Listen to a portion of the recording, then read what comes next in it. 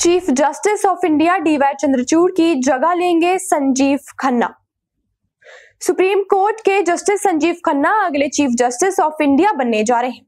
Justice Sanjiv Khanna supreme court के इक्यावनवे chief justice होंगे। आपको बता दें कि सीजीआई चंद्रचूड़ ने सरकार से उनके नाम की सिफारिश की है।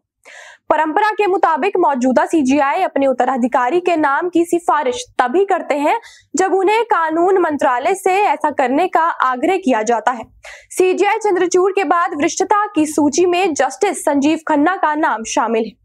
हालाँकि उनका कार्यकाल सिर्फ़ छह महीने का होगा। सीजीआई चंद्रचूड़ 10 नवंबर 2024 को सेवानिवृत्त हो जाएँगे, जिसके बाद जस्टिस खन्ना इक्यावनवे सीजीआई का पदभार संभालेंगे।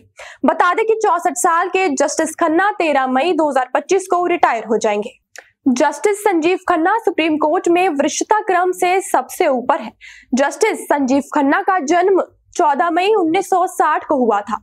उन्होंने दिल्ली यूनिवर्सिटी के कैंपस लॉ सेंटर से कानून की पढ़ाई की सुप्रीम कोर्ट जज बनाए जाने से पहले वो दिल्ली हाई कोर्ट में 14 साल तक जज रहे। 2019 में उन्हें सुप्रीम कोर्ट में पदोन्नत किया गया था।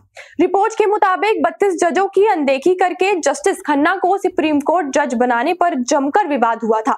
10 जनवरी 2019 को कॉलेजियम में उनकी जगह जस्टिस महेश्वरी और वरिष्ठता में तैतीसवें स्थान पर जस्टिस खन्ना को प्रमोट करने का फैसला किया। इसके बाद सिफारिश पर राष्ट्रपति रामनाथ कोविंद ने दस्तखत कर दिए थे। जस्टिस खन्ना के बाद अगले सीजीआई के तौर पर जस्टिस भूषण रामकृष्ण गवई का नाम चर्चा में है। वो मई 2025 में पद संभालेंगे। आपको बता दें कि जस्टिस रामकृष्ण गवई देश के अनुसूचित जाति वर्ग से आते हैं। खास बात यह है कि मई 2025 में सीजीआई बनने के बाद जस्टिस गवई भी अगले छह महीने बाद रिटायर हो जाएँगे। सुप्रीम कोर्ट के आधारिक वेबसाइट के मुताबिक सोलह मार्च 1985 को कानूनी पेशी की शुरुआत करने वाले जस्टिस गवई 23 नवंबर 2025 को रिटायर हो जाएँगे।